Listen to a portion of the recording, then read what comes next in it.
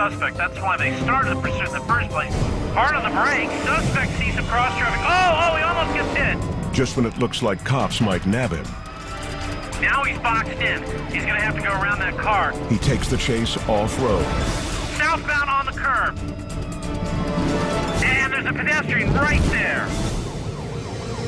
The suspect nearly runs over two civilians on the sidewalk. Then the road warrior makes a run for the hills and into LA's most expensive neighborhood. The exclusive hillside estates of Mulholland Drive. The crazed driver amps up the danger by cutting his lights. He's blacked out now. Blacked out. No lights on that car.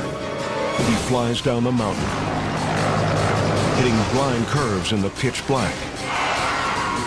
Very dangerous because it's so dark up there. Windy, windy roads up in those hills.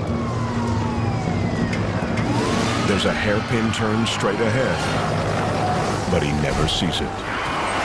Oh, he loses control there. Hits the guardrail. And the car, it overturned. He enters the turn too fast.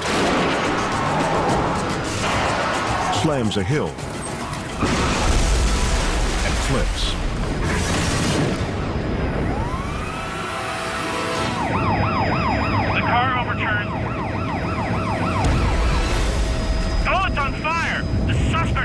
Inside. The engine ignites. The gas tank could blow at any second. But police risk their own lives to save the man they fear is armed.